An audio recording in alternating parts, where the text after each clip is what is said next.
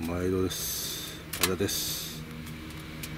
ようやく2015年3月28日近未来型バイクジェンマタイヤ交換しました。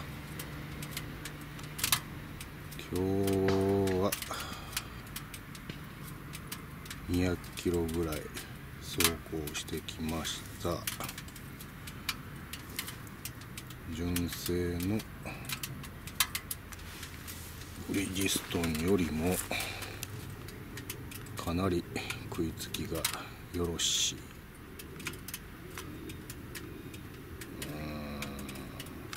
次回はどんだけ走行距離が持つか。これが課題になるやろうなと。タイヤのサイズが何だったこう書ってんかな507013やね。手の通りひげもまだ残っています。今日は和歌山奈良大阪市内。て地元に戻ってきました。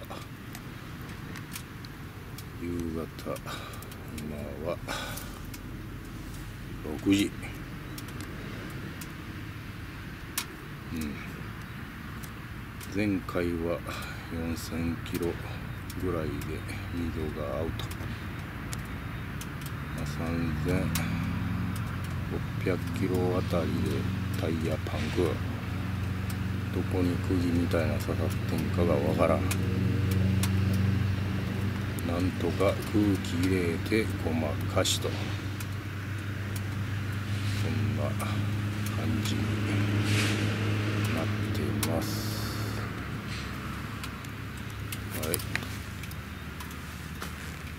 前回からは別にこれといって。改造もしてません、うん、